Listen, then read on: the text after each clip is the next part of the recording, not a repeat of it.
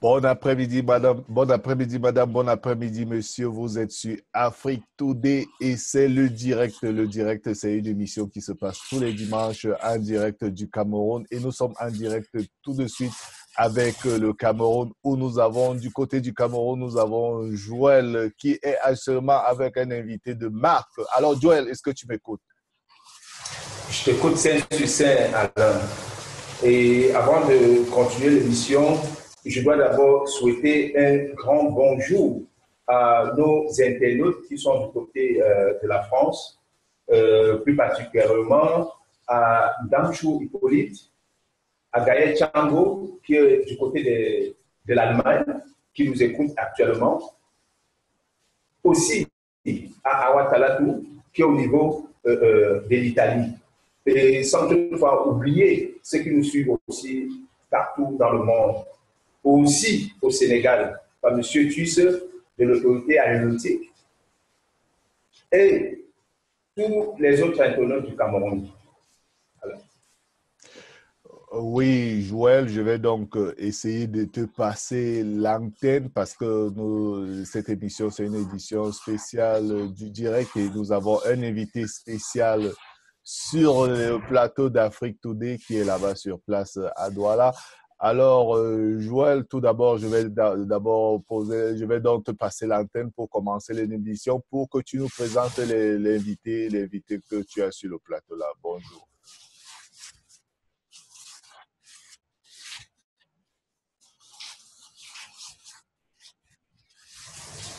Ok, euh, merci Alain. Je suis euh, sur mon plateau, j'ai Monsieur Camlo Michel, qui est le collaborateur du roi Bel, donc euh, Jean-Yves Douala Mangabel. Il est en même temps analyste politique, euh, géopolitique. Il est fondateur de l'ONG Nouvelle Horizon. Michel Capinon. Bonjour. Bonjour. Aujourd'hui, euh, vous êtes sur le plateau d'Afrique pour nous parler, puisque le, le, 26, le 26 mai, à, Douala, plus précisément euh, à la mobile John Joe, où euh, on construisait le monument, en fait, où doit abriter le monument euh, de Ruben Oumiobe. Les chefs Sawa du canton belge ont détruit la clôture qui devrait abriter ce monument de notre euh, héros national ignoré. Pour vous, en tant que collaborateur du, roi euh, euh, Jean-Yves Guadalajara, qu'est-ce que vous pouvez dire à nos téléspectateurs par rapport à, cette date? Merci. je dois d'abord dire que pour moi, c'est un honneur d'être sur le plateau de Afrique Today.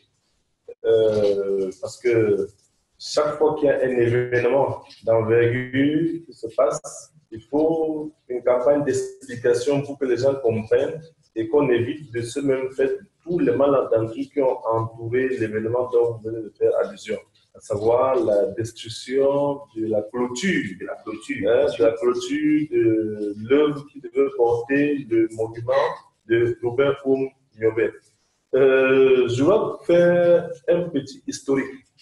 En décembre 2017, le roi belge, Sa Majesté Jean-Yves Ebumbu Dolamagabel, a mis sur pied au niveau de la chefferie du canton belge une commission qui avait pour but de voir quels sont les héros camerounais qui ont marqué son histoire récente et lointaine, et à partir de là proposer à l'État du Cameroun, à travers la communauté urbaine et euh, euh, la préfecture, le ministère de la Culture et tous les autres concernés, euh, que des monuments soient installés pour ces héros à Bonanjo.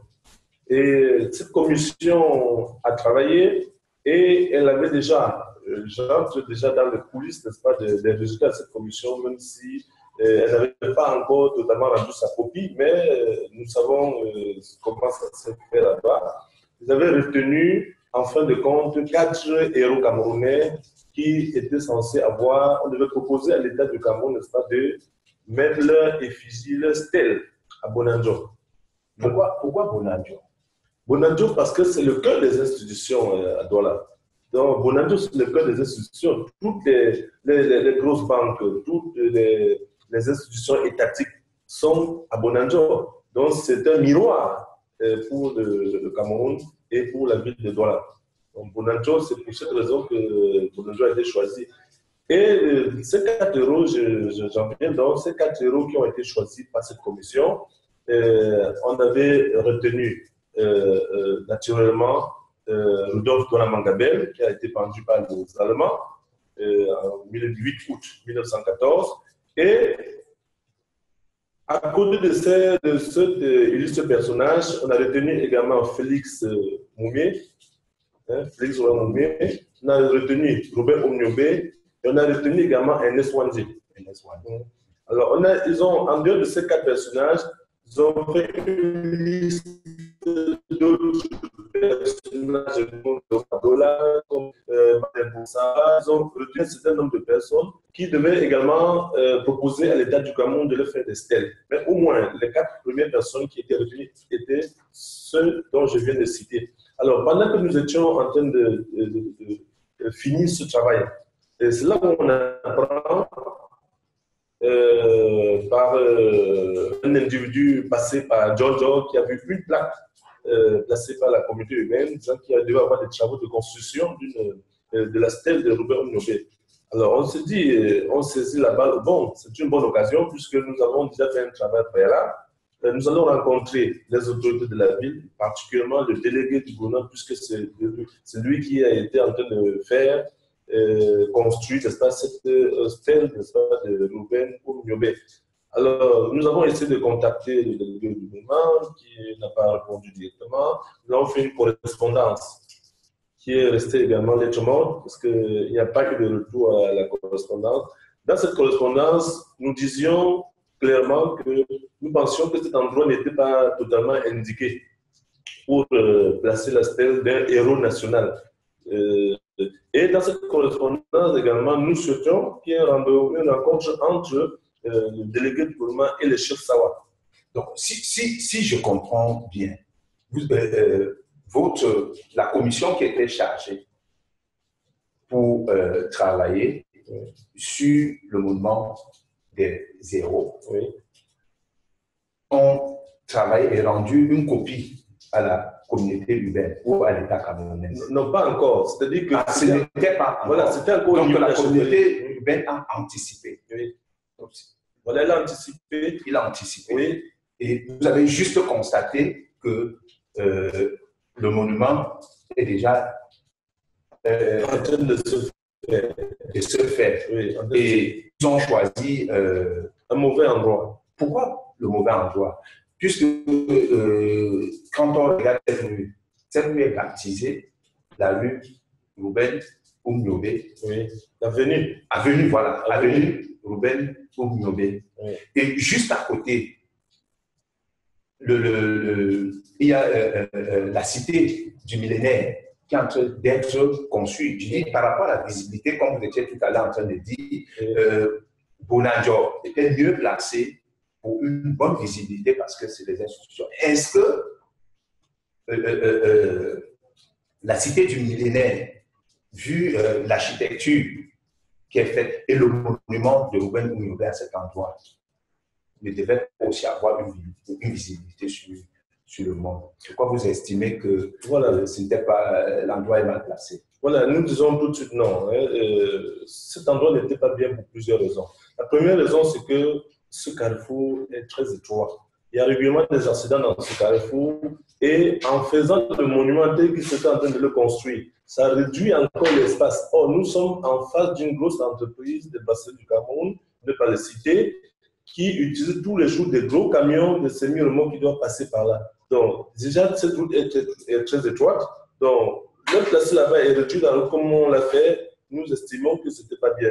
Qu'à cela ne tienne, nous ne sommes pas forcément urbanistes. Nous estimons que pour un héros national, il y a à Douala des endroits plus grands. Regardez, euh, par exemple, le, carrefour Bissengé.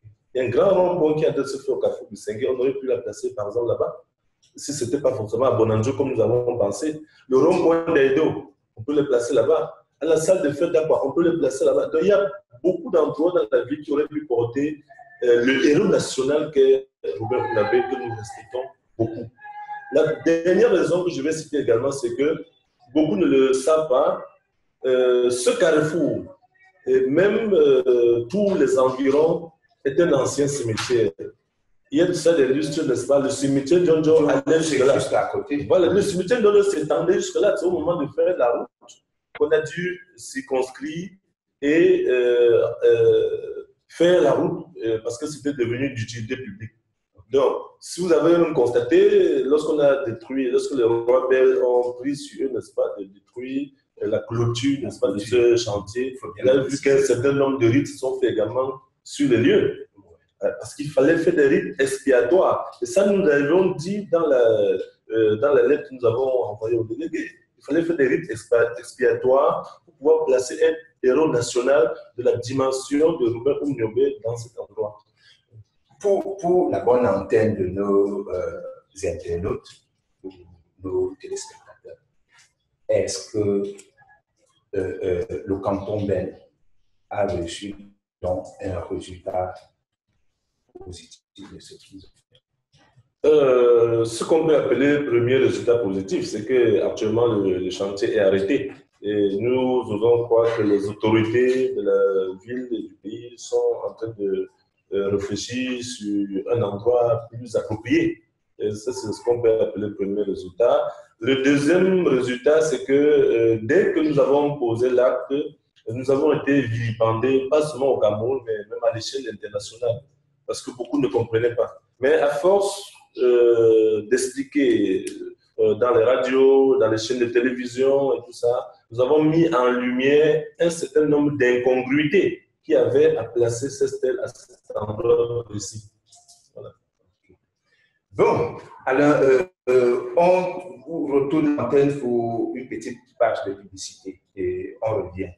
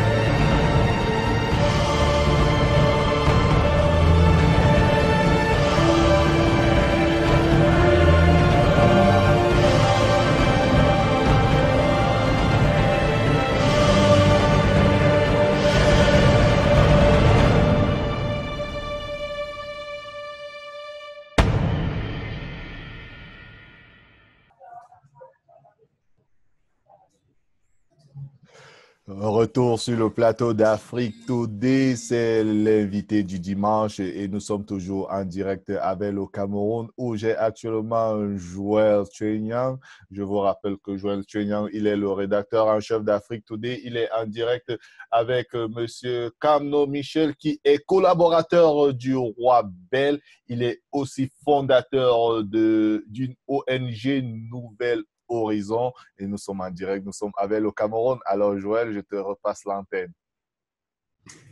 Euh, merci Alain. Et nous on passe directement à la deuxième partie de, notre émission qui est toujours euh, euh, par rapport à la, la, clôture qui devra habiter le, monument de notre héros national, Ruben oui, euh, Monsieur Kamno Michel, après euh, la destruction de la clôture qui devait habiter euh, ce monument, le, monument de notre héros national,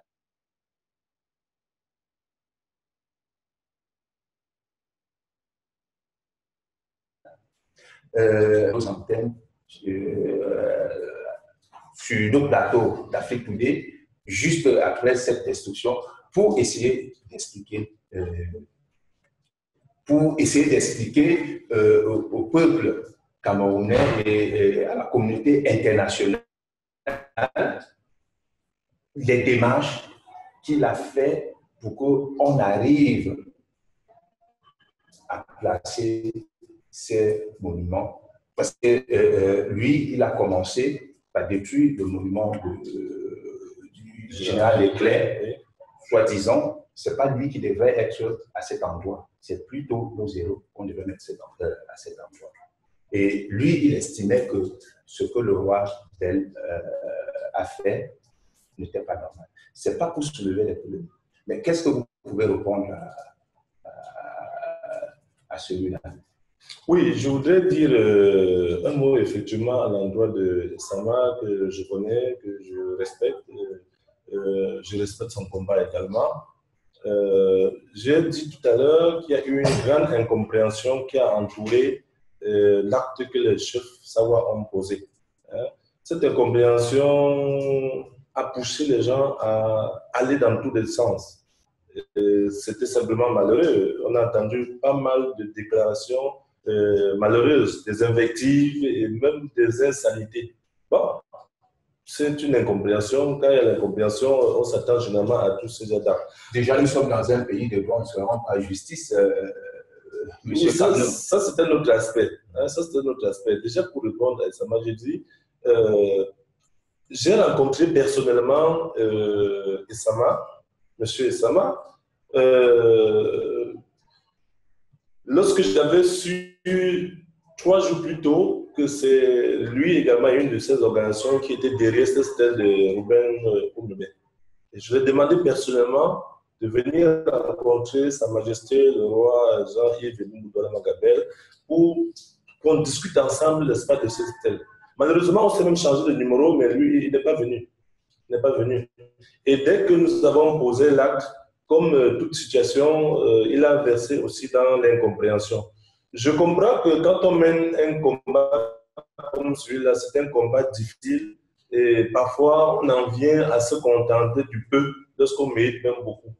Euh, je respecte son combat parce que à plusieurs reprises, comme vous le savez, il a détruit, euh, il a tenté de détruire, n'est-ce pas, la, statue, n'est-ce pas, du général Leclerc et beaucoup d'autres à travers la ville, par exemple au Carrefour, Donc ça, c'est des combats que nous respectons. Mais par contre, je n'ai pas compris qu'il en vienne finalement à se contenter du peu, jusqu'à ce qu'on, accepter qu'on mette la statue d'un héros national dans un petit carrefour comme celui de John John.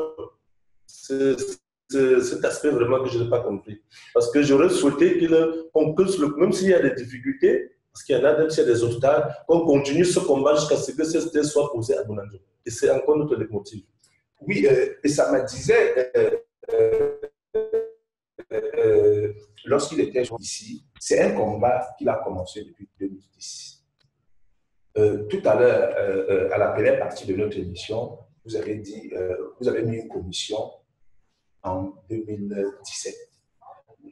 Vous dit, vous étiez vraiment très très en retard par rapport à tout ce qui s'est passé. Et puis, euh, si je veux résumer tout cela, comment le canton belge, qui est l'espace de, euh, de, commandement du roi, du roi belge, on puisse installer un monument aussi important comme celui-là sans que le chef ne soit au courant.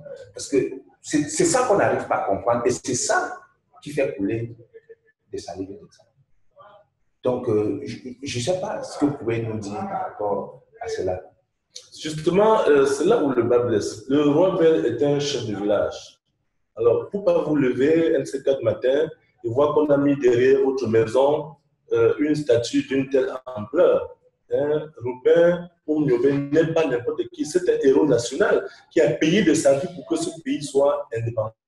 Donc, à mon avis, euh, il aurait fallu que la communauté urbaine euh, entre en concertation avec la communauté du canton Bell, les choses savoir du canton Bell, pour choisir déjà le lieu et faire les rites expiatoires qui étaient nécessaires à cet endroit, même si cet endroit avait été retenu. D'ailleurs, nous pensions euh, euh, à la chefferie supérieure canton Bell qu'il y avait nettement d'autres endroits. Si on avait eu un entretien en tête à tête avec monsieur le délégué, on leur aurait proposé plusieurs endroits dans la ville et nul doute qu'il aurait choisi un de ces autres endroits que cet endroit. OK. Est-ce qu'au départ, est-ce qu'au départ, vous n'avez pas eu d'informations?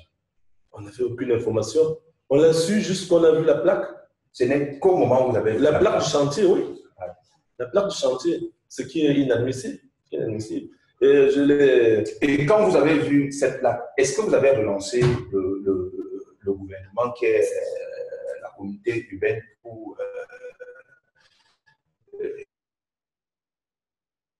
chercher à, à si même des décisions ont été prises. C'est de ça qu'il s'agit. Je disais tantôt que nous avons fait une correspondance euh, au délégué du gouvernement pour, pour qu'on en discute, pour se rencontrer et qu'on en discute. Malheureusement, nous sommes arrivés à là pourquoi? Parce que non seulement euh, cette consultation n'avait pas lieu, mais on voyait les travaux continuer tous les jours. Donc, on, a, on s'est dit qu'on risquait d'être devant le fait accompli.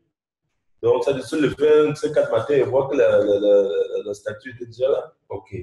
Oui, euh, Joël, je voulais tout simplement poser une question. Je, m'excuse de vous couper la parole. Euh, je veux rappeler à tous ceux qui nous regardent actuellement que nous sommes en direct. Nous sommes ici aux États-Unis et nous sommes en direct avec le Cameroun du côté de Douala. Et nous avons M. Camno Michel qui est collaborateur du roi euh, Bell et il est aussi le fondateur de l'ONG Nouvel Horizon. Peut-être on aura deux ou trois questions à propos de son ONG. Mais ma question est la suivante. Euh, est-ce que le roi Bell donne des interviews? Parce qu'on a l'impression que nous, la, communauté panafricaine, parce que nous sommes une télévision panafricaine, nous, nous, nous essayons, nous, nous, essayons de faire dans l'innovation. Je ne sais pas si vous, vous, vous, êtes au courant parce que Afrique Today, aujourd'hui, a gagné ce prix de la meilleure chaîne panafricaine. Et nous sommes vraiment beaucoup regardés euh, par, par, par, les panafricaines qui sont basées non seulement aux États-Unis, aussi au Sénégal, aussi en France. Euh, partout dans le monde. Et partout dans le monde. Et actuellement, nous avons plus de 5000 applications qui sont téléchargées. Donc, ma question est la suivante. Est-ce que le, le, le roi Bell donne des interviews? Parce que parfois, la, la, communauté aussi panafricaine a envie de, parler avec le roi. Je sais que ce n'est pas facile, mais c'est une question. Est-ce que le roi donne des interviews?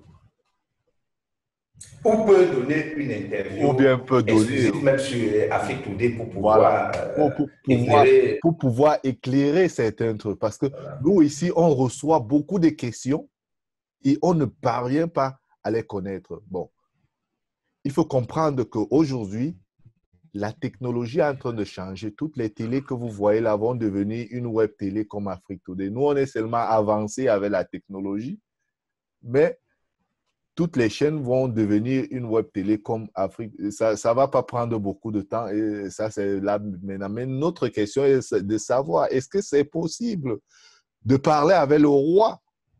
Si oui, qu'est-ce qu'il faut faire? Oui, merci Alain. Je dirais tout de suite, hein, le roi donne des interviews. Euh, sauf que depuis que euh, cet événement a eu lieu, euh, il n'en a pas donné spécialement.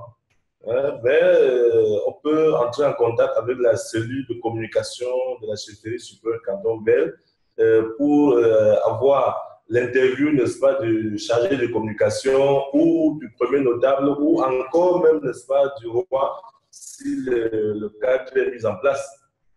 Et au-delà du roi, il y a les chefs de, de Bonadouma, Bonadoumbe, qui sont également des chefs Sawa, des chefs euh, de troisième degré, et qui accompagnaient le roi, n'est-ce pas, le jour où euh, ces événements ont eu lieu.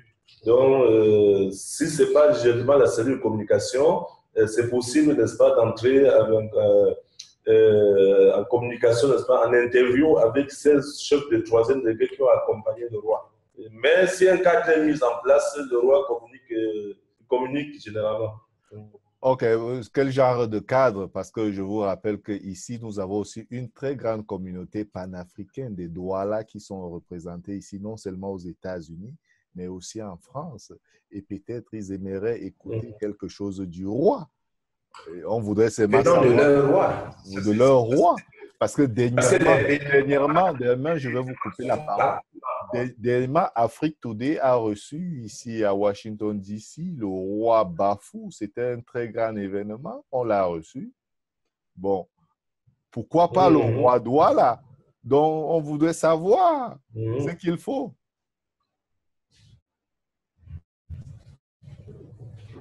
Oui, c'est compris. Euh, comme euh, ça dit, les, comment dirais-je, euh, il faut simplement, hein, dans un premier temps, saisir la chiffrerie par une correspondance. Hein, et à partir de la correspondance, maintenant, euh, le chargé de la communication, l'équipe chargée de la communication vous expliquera clairement ce qu'il y a lieu de faire. Voilà. OK.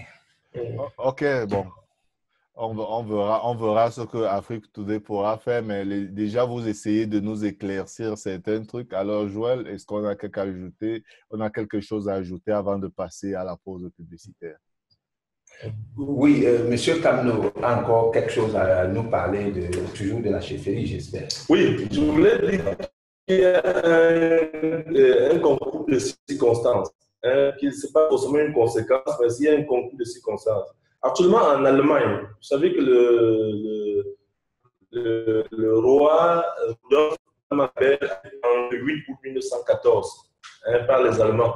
Euh, ils avaient à l'époque pendu pas mal de personnalités euh, en Afrique et même au Cameroun. Et ils ont décidé en Allemagne, et je dis c'est un concours de circonstances, de diriger une rue Rudolf Douala-Mangabel. Ça, c'est une première. Bon, c'est pas connu, l'information n'est pas très connue, mais euh, c'est déjà décidé.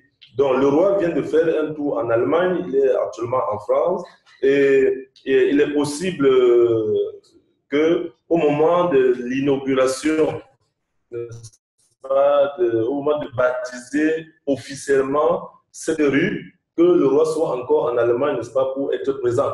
Parce que c'est bien son ancêtre qui a été pendu ce 8 août 1914. Et vous savez également que nous sommes...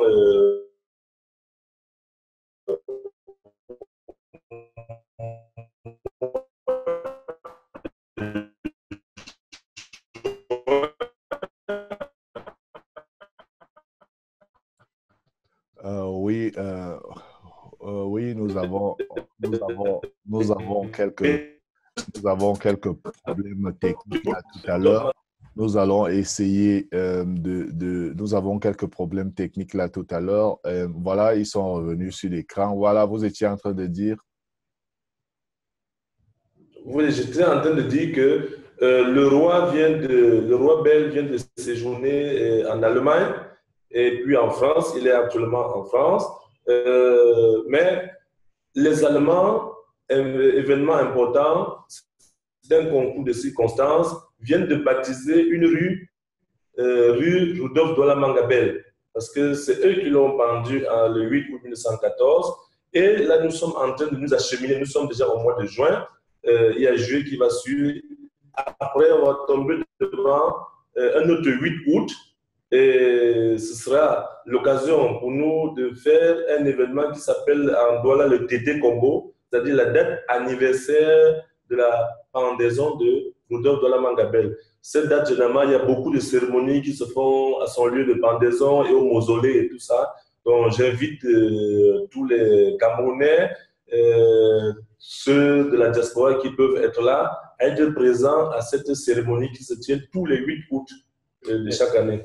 Même des, Camerounais de la diaspora qui pourront ne pas faire le déplacement, Afrique peut les aider pour la retransmission de cet événement pour qu'ils puissent voir même sans se déplacer. Voilà, voilà. Donc c'est justement l'occasion. J'invite déjà votre euh, chaîne Afrique Today à être présent, n'est-ce pas, ce 8 août lors du TT Combo. Comme ça que ça s'appelle TT Combo. C'est le jour anniversaire de la pendaison de Rudolf de la Mangabel. OK. On doit passer à la troisième partie euh, de notre émission tout juste après euh, une page de pub. Alors, vous avez l'antenne.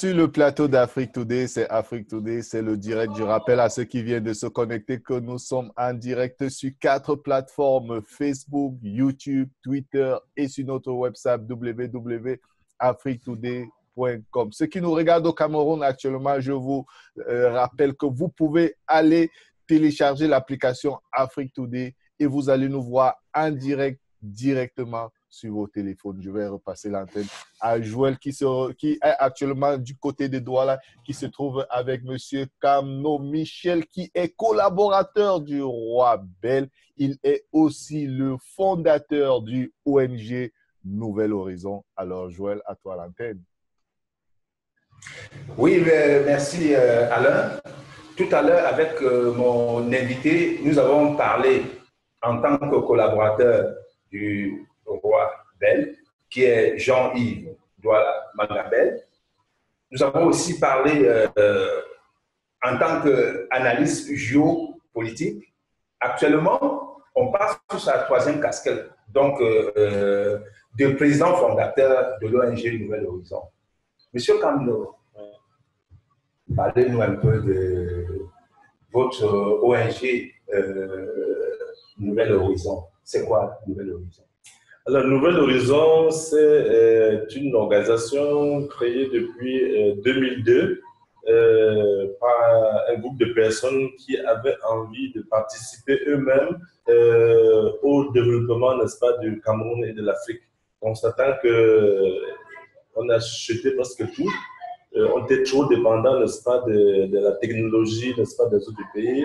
nous avions décidé donc, à cette époque déjà de créer nombre, une plateforme qui permet à ceux qui ont de la volonté de faire des choses par euh, eux-mêmes, n'est-ce pas, de s'impliquer et de donner de leur énergie. C'est ainsi que nous avons créé plusieurs départements, n'est-ce pas, dans l'ONG, dont il y a un qui fait dans l'environnement, euh, avec plusieurs projets que vous connaissez. Par exemple, nous travaillons actuellement sur le projet plastique, recyclage des déchets plastiques avec lesquels nous avons initié, n'est-ce pas, la fabrication de pavés. Et nous cherchons des partenaires hein, pour euh, euh, rendre le projet plus viable.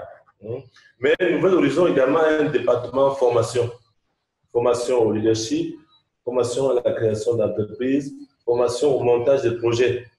Euh, ça, c'est un département qui a fait beaucoup parler de lui, puisque chaque année, nous organisons au moins un séminaire sur la création d'entreprises et sur le montage de projets. Et c'est lieu de dire que, c'est lieu de dire que ici à Douala, par exemple, à nous avons environ 25 personnes qui ont des activités économiques viables qui marchent après avoir suivi nos séminaires et formations. Donc, euh, c'était un honneur pour nous, mais nous pensons que beaucoup reste à faire. OK. Disons, si on veut parler de Nouvel Horizon, ça ne doit jamais finir on doit trouver euh, euh, un espace, mhm. toujours euh, soit dans l'une de nos émissions, pour pouvoir parler en profondeur, en profondeur de Nouvel Horizon. Oui, mais avant de traverser là-dessus, quelques actions que Nouvel Horizon a pu déjà réaliser au niveau du Cameroun, vous avez parlé tout à l'heure de, l'environnement. Est-ce que vous pouvez nous citer quelques actions que vous avez pu faire dans ce sens Oui, comme j'expliquais tout à l'heure, euh, il y a la fabrication des pavés. Nous avons des modèles. Des pavés Oui, des pavés à base de déchets plastiques. À base de déchets plastiques Oui, oui, oui. Déchets plastiques C'est des. on appelle les PET, par exemple. Les PET, qui sont des bouteilles. Des bouteilles qu'on utilise, utilise, pour euh, de, garder de l'eau, euh, de l'huile et tout ces. Voilà. Mais les sacs plastiques également, dans les nylons, mhm. ils sont également utilisés. Donc, tous ces déchets plastiques, nous les récupérons, les recyclons pour leur donner une seconde vie. Et ah, en fait, c'est ça le système du, du, recyclage. Voilà, c'est le système de recyclage. C'est un projet euh, porteur, mais nous cherchons des partenaires parce que même la communauté urbaine s'intéresse à ça, les mairies également s'intéressent à ça, mais euh, nous sommes encore en structuration pour arriver à le rendre viable. Euh, autre action également, comme je vous ai dit tantôt, euh, je vous ai parlé des séminaires que nous organisons chaque année sur la création d'entreprises et le montage de projets, mais il y a également les formations que nous donnons au leadership, hein, au développement personnel, ainsi de suite, pour permettre à beaucoup de gens d'être plus sûrs d'eux-mêmes Hein, euh, d'agir dans la vie avec beaucoup plus d'assurance. Ok, Monsieur Cabno. Je pense, Alain, euh, il a essayé de nous expliquer euh, ce que c'est que l'ONG Nouvelle, Nouvelle Horizon. Donc, comme le temps nous est imparti, je pense qu'on va passer à la dernière partie de notre émission avec Lévis Tondi, juste après une page de la publicité. Et je peux que dire bye bye pour moi et la semaine prochaine. Oui, Joël, nous te disons merci beaucoup pour le, travail que tu fais pour Afrique Today et on espère te retrouver la semaine prochaine pour une autre édition de, de, de, du direct. Alors, ne quittez pas, restez branchés. Du direct, euh, euh, ne, quittez pas, euh, restez branchés, restez connectés parce que Lévis va venir finir cette édition du direct tout à l'heure. On revient tout de suite après une page publicitaire.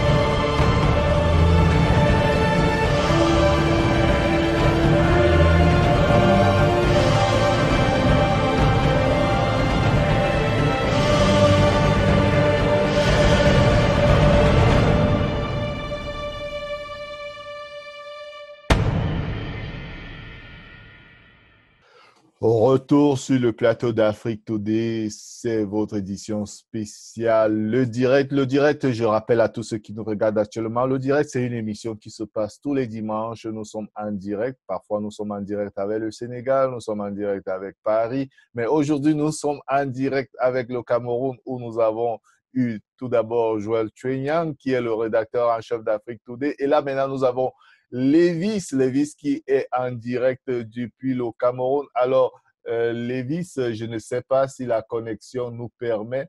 Lévis, euh, Lévis, euh, je vois, nous avons, je crois que nous avons des petits problèmes, nous avons des soucis techniques pour essayer de joindre Lévis. Alors, Lévis, on a toujours ces problèmes techniques pour essayer de te joindre. Alors, Lévis, est-ce que tu es en train de on, avait des, petits problèmes techniques pour joindre Lévis. Alors, Lévis, à toi l'antenne.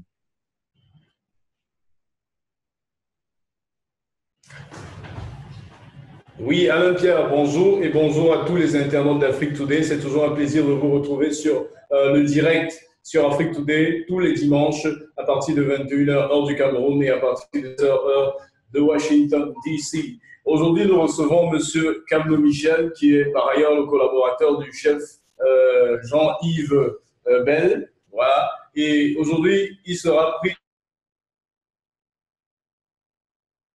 Nouvelles Horizons, voilà, l'ONG Nouvelles Horizons. Alors, nous allons commencer rapidement avec euh, d'autres questions que j'ai, avec la permission de, de la rédaction, bien sûr. J'ai quelques questions à poser à monsieur le collaborateur du chef euh, Jean-Yves euh, Lebel. Alors, après, euh, Jean-Yves Douala Mangabel. Alors, Monsieur Camno, pour revenir sur la destruction de la clôture de la stèle de Ruben Mungabel, il se trouve que les chefs Douala du canton Bel avaient effectué un certain nombre de rites sur les lieux indiqués comme pour conjurer le mauvais sort sur toute poursuite des travaux qui auraient été, qui, qui, qui, qui auraient pu se, faire après qu'ils aient manifesté leur mécontentement à travers la destruction de cet acte. Est-ce que vous ne voyez pas une sorte de constellation de la part des chefs? Euh, Point de constellation, c'est là où j'ai évoqué tantôt, n'est-ce pas, l'incompréhension qui a entouré euh, l'acte qui a été posé. J'ai rappelé tantôt que cet endroit est un ancien cimetière. Nous avons des sépulcres en bas. Il y a des ancêtres qui dorment là en bas. Donc, on ne pouvait pas faire euh, poser une stèle de cette envergure à cet endroit sans qu'il y ait des rites expiatoires, sans demander aux ancêtres. Nous sommes des Bantous, nous sommes africains, nous sommes chez nous les Bantous, les morts ne sont pas morts. Donc, euh, pour qu'on fasse cette, euh, poser cette stèle à cet endroit, il aurait fallu parler avec les ancêtres qui, sont, qui dorment à cet endroit. Ce sont nos ancêtres qui dorment à cet endroit. Donc, les rites qui ont été faits allaient justement dans ce sens il fallait demander pardon. Hein? Vous avez vu qu'on a euh, versé, n'est-ce pas, le sang de coq à cet endroit ici, parce qu'il fallait demander pardon aux ancêtres pour les avoir offensés comme ça impunément, sans au préalable faire les rites expiatoires qui sont demandés. Qu'il fallait faire. Qu'il fallait faire. Alors, vous avez également dit que euh, les, les, chefs étaient accompagnés d'un certain nombre d'autres chefs, d'autres cantons du grand village de Douala. Il, me semble quand même que, voilà, il me semble quand même que euh, ils auraient pu proposer un autre emplacement pour, euh, pour euh, construire, le, afin de compenser le lieu qui n'était pas indiqué, étant précisé qu'il était à Bonapriso. Ils auraient pu quand même proposer. Pourquoi? Qu'est-ce qui a fait en sorte que je crois que c'est beaucoup plus l'absence de dialogue. Parce que, comme je disais tantôt, nous avons écrit à la communauté humaine pour dire nous voulons une rencontre pour vous proposer d'autres endroits. Et ce rencontre n'a jamais eu lieu. On a constaté les travaux avancer sur le chantier à grands pas. Alors, on a eu euh, comme une peur de voir que tous les travaux finissent. parce que si c'était fini, il ne serait plus qu'à passer à l'inauguration. Revenir encore dire qu'on change cet endroit, c'était pas compliqué. Et des sources oui, oui, oui. On, continue. On a eu des, petits problèmes techniques là. Vous savez, parfois l'image disparaît. Mais là, je crois que vous êtes revenu sur les antennes. l'image, l'image a encore disparu. L'image a encore disparu. Donc, on va essayer de prendre une pause publicitaire le temps de résoudre ce problème technique et on revient tout à l'heure.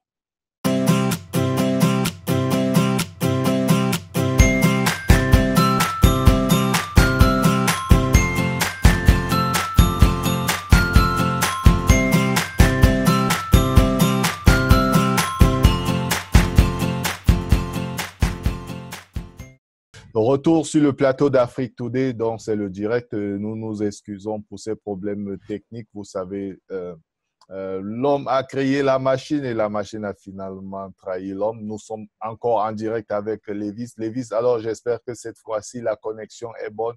Alors Lévis, si tu m'écoutes, à toi l'antenne.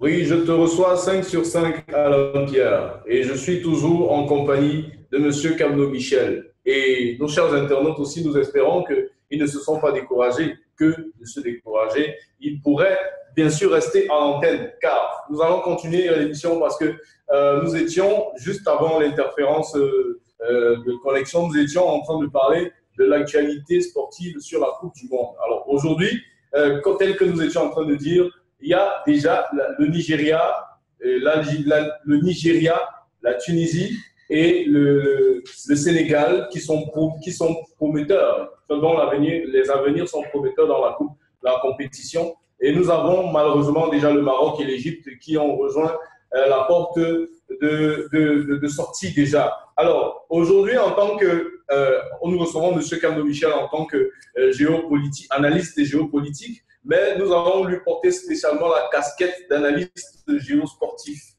il va nous donner un peu son avis euh, sur euh, la lecture qu'il peut faire sur les, différents parcours des équipes, euh, soit africaines, tant, le pays, pour le pays organisateur que les pays africains sur la Coupe du Monde. Oui, merci, merci pour cette question qui est d'actualité. je crois d'abord tirer un coup de chapeau à la Russie, qui est en train de réussir sa Coupe du Monde. elle a transformé comme le président Poutine a eu l'occasion de le dire, euh, cet événement en fait du football. Et c'est ce que nous sommes en train de voir. Euh, la population elle-même qui vit là euh, se comporte assez bien. Pour un début, c'est très appréciable. Et les manifestations également sont bien déroulées et les stades sont distants les uns des autres parce qu'il faut dire que la Russie, c'est un pays qui est très large. Très vaste. très vaste. Euh, donc, euh, ça se joue dans plusieurs villes et il y a donc plusieurs changements de climat également dont les joueurs vont faire face. Et tout, ça fait partie, n'est-ce pas, de, la stratégie. De la, voilà, voilà, La stratégie du pays organisateur. Du pays organisateur. Et puis, c'est une chose également que les joueurs connaissent bien parce qu'ils jouent dans plusieurs, endroits avec des climats différents. Donc, la Russie est en train de réussir, n'est-ce pas, sa fête de, de, football. Et c'est beaucoup plus, plutôt un honneur pour la Russie.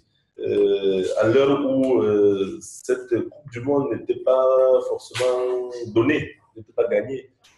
Vous savez que précédemment, il y a eu des rumeurs de corruption, des rumeurs de corruption, euh, au point où on ne savait plus véritablement si la Russie a organisé la Coupe. voilà, je crois que les, la fédération internationale a peut-être vérifié et n'a rien trouvé très suspect. Voilà, voilà, voilà. Et maintenant, concernant les équipes africaines, comment vous, comment vous voyez euh, le parcours Trois équipes euh, au destin prometteur, deux déjà out sur cinq. Bon, c'est malheureux, n'est-ce pas, pour les deux qui sont déjà out, parce que les prestations n'ont pas été à la hauteur des attentes. Hein, mais les, trois autres dont vous citez, notamment le Sénégal, qui a donné la première belle victoire euh, à l'Afrique, et qui a fait vibrer les cœurs. On a vu les images un peu partout, comment voilà, tout le monde s'est senti sénégalais ce jour, tout Africain s'est senti sénégalais, même si c'était que la première victoire, Il y a encore plein de matchs. Euh, hier encore, le Nigeria également nous a honoré d'une prestation euh, appréciable la Tunisie va se déployer. C'est déjà déployé, déjà. déjà déployé. Et voilà, donc euh, c'est une, une prestation qui remet quand même en lumière hein, le, véritable problème, n'est-ce pas, de, préparation des équipes africaines. Donc, euh, vous savez, les compétitions, les grandes équipes se préparent pendant quatre ans pour les faire. Les petites équipes, les équipes africaines notamment, parce qu'elles n'ont pas beaucoup de moyens, parce qu'elles n'ont pas d'infrastructures, parce qu'elles sont mal organisées, euh, attendent généralement la dernière minute. Et c'est pour ça que les prestations peuvent être euh, parfois euh, pas à la hauteur des attentes. On est bien fiers que qu'une équipe gagne, mais il faut mettre se mettre dans les conditions de gagner. Et parfois, les, équipes africaines ne sont pas toujours dans les conditions de gagner. Les pays asiatiques, par exemple, ont même beaucoup plus de moyens d'infrastructure, mais non pas la détermination que les Africains ont parfois. Donc, si à notre détermination, on pouvait ajouter un peu d'infrastructure, de moyens, euh, je crois que l'Afrique ferait des merveilles à chaque Coupe du Monde. L'Afrique, effectivement, comme Afrique Tournée, va participer à cela à travers les différentes émissions, à travers vos analyses, les analyses également de beaucoup d'autres intervenants sur nos plateaux euh, afin de pallier à ce, ce problème d'organisation. Merci d'être passé ici. Je vais passer la parole à Alain Pierre euh, depuis les États-Unis. Oui, avant, de terminer euh, cette édition du direct, j'ai une dernière question à notre invité. Nous allons recevoir bientôt sur le plateau d'Afrique Today. Nous avons déjà reçu ici à Kérémona. Et là, nous sommes prêts à recevoir l'honorable Joshua Oshi.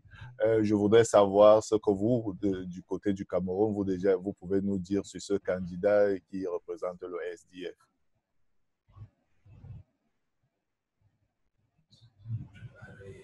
Alors, euh, le candidat représentant le, parti politique de l'opposition le plus euh, en vue au Cameroun, à savoir le SDF. Alors, il faut savoir que nous sommes en train de nous préparer actuellement à recevoir euh, Monsieur Joshua aussi sur, les, sur le plateau euh, d'Afrique Today Cameroun, afin qu'il puisse nous donner, n'est-ce pas, son plan d'action, son plan, son cahier de charge sur c'est comment est-ce qu'il prépare l'élection présidentielle 2018 qui auront lieu, euh, n'est-ce pas, en novembre, euh, en novembre prochain. Alors, euh, nous savons que les problèmes, les histoires de politique et d'élection sont, sont prises par, les pincettes, sont prises par les pincettes par l'ensemble des Camerounais parce que c'est des histoires, c'est des, des, affaires très compliquées à gérer et à comprendre des fois. Donc, ce que je peux dire sur ça, c'est dessus, c'est que nous nous préparons davantage afin de, de, de, recevoir M. Joshua aussi et lui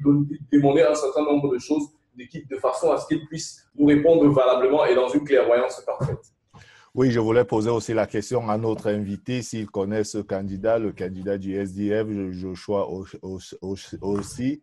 Euh, donc, euh, s'il le connaît, s'il peut nous dire quelque chose, parce que nous sommes notre équipe, toute, l'équipe d'Afrique Today est en train de se préparer. Il y a, notre rédacteur en chef, euh, Joël Chuenyan, qui est au four et au moulin tous les jours pour trouver des questions stratégiques pour ce candidat que nous allons recevoir sur le plateau d'Afrique Today bientôt. Alors, euh, Monsieur Michel, qu'est-ce que vous, vous connaissez-vous ce candidat?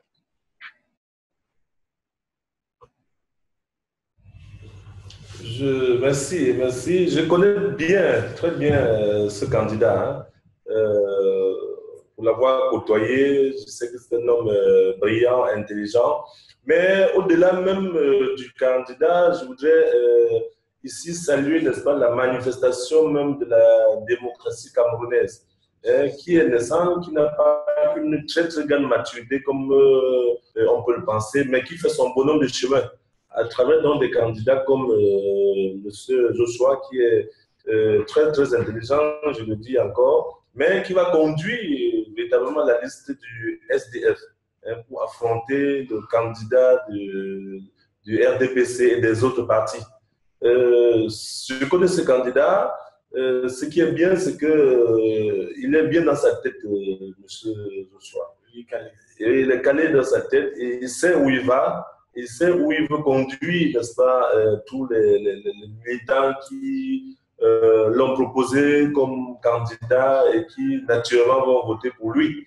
Et je crois que s'il communique sur le plateau de Afrique Today, sur tous les plateaux, ça pour attirer davantage les Camerounais à lui donner, n'est-ce pas, leur voix. Voilà. Oui, ce qui nous regarde actuellement, c'est Afrique Today, c'est le direct et Joshua, l'honorable Joshua sera bientôt sur les antennes d'Afrique Today. Nous allons faire une interview tête à tête avec, euh, avec ce candidat et nous sommes en train de préparer des questions et nous sommes en train de préparer cette interview qui sera diffusée sur les antennes d'Afrique Today et nous allons informer nos, nos, internautes, ceux qui nous regardent actuellement, du jour où se passera cette interview. On essayera peut-être de faire un direct avec lui. On est encore en train de décider avec toute l'équipe technique comment cela va se réaliser, mais il sera sur les antennes d'Afrique Today. Ce sera bientôt. Alors, euh, suivez Afrique Today. Vous allez voir bientôt ce candidat euh, à la présidence du Cameroun et ce représentant du, parti SDF qui va passer sur antennes d'Afrique Today. Alors, euh, Lévis, ton dernier mot. Alors, mon dernier mot, tout simplement, je peux remercier les internautes d'Afrique Today qui continuent à nous renouveler leur confiance de jour en jour et donc qui ne relâchent pas de, télécharger l'application Afrique Today à travers le monde. Vraiment, sans eux, Afrique Today ne saurait vivre. Alors, nous remercions encore les internautes qui nous suivent davantage. Alors, j'aimerais également dire merci à toute l'équipe d'Afrique Today depuis les États-Unis et jumelée à celle du Cameroun qui travaille d'arrache-pied afin de fournir des programmes de qualité euh, sur cette télévision panafricaine qui se veut euh, vraiment très euh, revendicatrice de ses valeurs africaines et éphémères. Oui, je voulais aussi avoir le dernier mot de notre invité, M. Kamno Michel.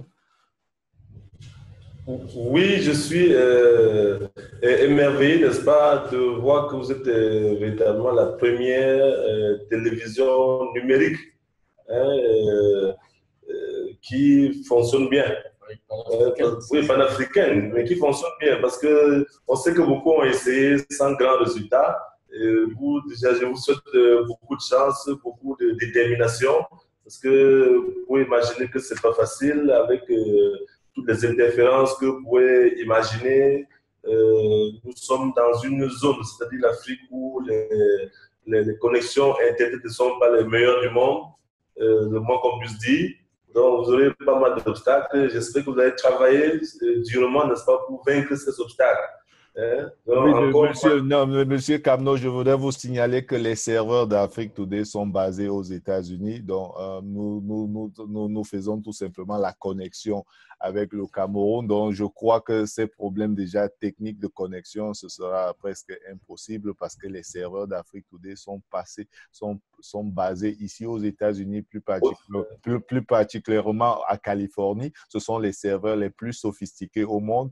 Et donc, nous utilisons la meilleure des technologies pour passer, pour faire le direct et nous utilisons aussi la meilleure des technologies pour faire passer nos émissions sur nos applications. Donc, Afrique Today a vraiment investi dans ce domaine-là et nous essayons, nous espérons qu'avec euh, le Cameroun, avait, vous, vous avez vu, par exemple, aujourd'hui, nous avons eu quelques problèmes techniques de connexion, mais nous espérons que dans le futur, ces connexions se passeront dans des meilleures conditions. Oui, oui, euh, oui, Lévis, tu avais quelque chose à ajouter là avant de terminer l'émission? Oui, oui, justement, je, voulais ajouter que nous avons notre. J'ai oublié de citer notre réalisateur euh, Yannick Peta, qui est le, un peu le pivot de, de tout ce qu'on réalise ici euh, au pays, sur place, surtout, avec tout, tout, ce qui est, tout ce qui est en termes de, de, de montage, de réalisation, de, tous les effets que vous avez à, voir que les internautes pourraient apprécier euh, sur les différentes productions euh, d'Afrique Today et Cameroun. Vraiment, c'est un travail c'est un travail de génie qui est réalisé ici. Vous allez le constater très bientôt avec euh, l'émission Entretien et Vérité qui arrive. Oui, je tire vraiment le chapeau à toute l'équipe Afrique Today Cameroun qui est dirigée par M. Joël Chuenyang et surtout à tous ceux qui participent. Il y a Lévis qui fait vraiment du très, très, très grand travail Il y a aussi Nancy, malheureusement, je ne sais pas là où elle est, mais elle, aussi, elle fait du très bon travail. Il y a le monteur, celui qui, qui, participe au montage des émissions. Vous allez, vous allez voir ces montages, c'est lui pratiquement qui fait tous les montages d'Afrique Today et il va préparer bientôt le générique de l'invité du dimanche et le générique de toutes les émissions parce que c'est un garçon génial qui fait du très bon travail. Et nous avons toute cette équipe toute cette équipe basée au Cameroun. Et vous savez, avec la technologie, on parvient à avoir ces correspondances-là, d'avoir des fichiers qui nous viennent du Cameroun, ceux qui viennent des États-Unis. Et c'est ça qui fait la force et c'est ça la technologie aujourd'hui. Alors, monsieur Camno Michel, merci d'avoir été des nôtres aujourd'hui. Merci. Peut-être, peut-être Lévis voudrait encore ajouter quelque chose, je ne sais pas. Oui, oui, Un, tout dernier petit mot parce que le papier, le papier sur le sport que j'ai réalisé tout à l'heure, il a été euh, fait par, il est, que j'ai rendu tout à l'heure, il a été réalisé par un autre stagiaire, stagiaire d'Afrique Today qui s'appelle Kevin. Il est présent parmi nous et il souhaite un, un bonjour très particulier à l'équipe d'Afrique Today aux États-Unis. Voilà. OK, merci et merci à toute l'équipe d'Afrique Today qui est basée au Cameroun. J'espère recevoir bientôt sur le plateau d'Afrique Today M. Camno Michel pour qu'il nous parle plus, plus profondément de son association, de son ONG Horizon, euh, Nouvel Horizon, Nouvel Horizon qui, qui, parce que nous, euh, je veux rappeler qu'Afrique Today a des connexions avec la Chambre de commerce et nous travaillons ici beaucoup avec d'autres associations qui peuvent vous, euh, qui, peuvent vraiment vous assister. Mais vous pouvez contacter la, direction d'Afrique Today au Cameroun pour voir dans quelle mesure vous pouvez réaliser cette émission spéciale sur, euh, sur votre association. Sur ce, je souhaite à tous ceux qui nous regardent actuellement un très, très, très, très, très, très, très, très bon dimanche et bon dimanche. À dimanche prochain. Ciao. Bye bye. Ciao.